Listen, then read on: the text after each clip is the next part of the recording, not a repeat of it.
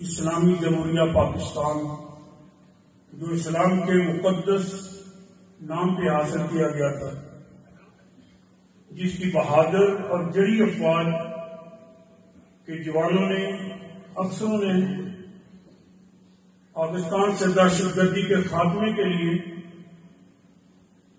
अमन और सलामती के लिए, पाकिस्तान के इस्तेकाम के लिए, पाकिस्तान की सालमियत के लिए पाकिस्तान के सरजमीन पाक के एक एक इंच की हिफाजत के लिए बेशुमार कुर्बानियाँ दी हैं आज पाकिस्तान के अंदर फिर एक मरतबा दहशतगर्दी उठ के आ रही है। एक ऐसी आवाज़ बुलंद हो रही है जो पाकिस्तान में खाना जंगी की शक्ल अख्तियार की जा रही है।